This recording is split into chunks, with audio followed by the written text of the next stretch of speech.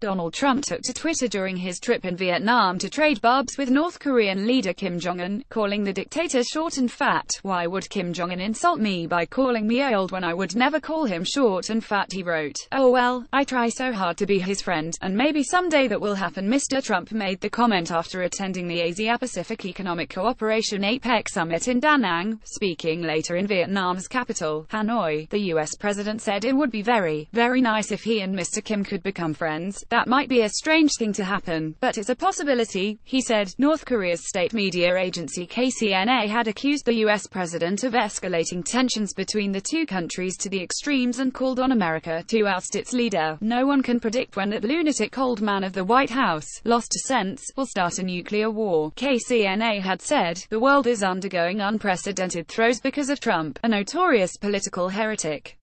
The US must oust the lunatic old man from power and withdraw the hostile policy towards the DPRK at once in order to get rid of the abyss of doom. Why would Kim Jong-un insult me by calling me old, when I would never call him short and fat? Oh well, I try so hard to be his friend and maybe someday that will happen. Donald J. Trump at Real Donald Trump November 12, 2017 The US had better make a decisive choice, if it does not want a horrible nuclear disaster and tragic doom. The KCNA's calls for Mr. Trump's removal come after the billionaire attacked the haters and fools who he said are preventing the development of good relations forming between the US and Russia.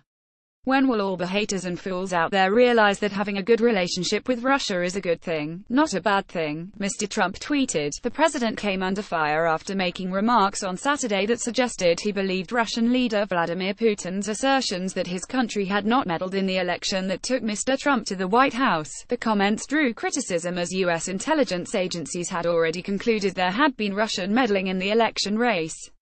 More about Donald Trump Kim Jong-un U.S. North Korea reuse content